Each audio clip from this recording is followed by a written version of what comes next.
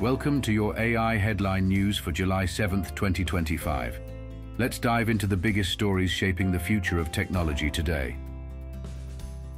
The FDA has just launched ELSA, an AI assistant that helps speed up food recalls by automating inspections and label checks.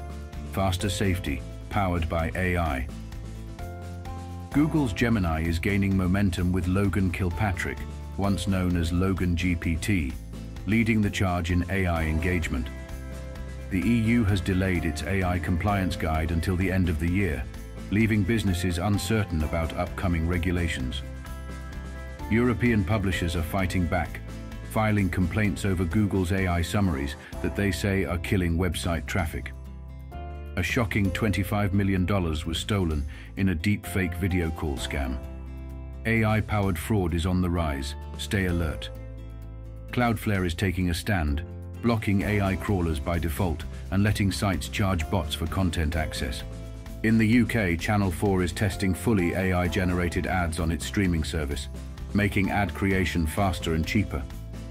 Microsoft is rolling out Copilot across Windows and the cloud, bringing AI into productivity tools like never before.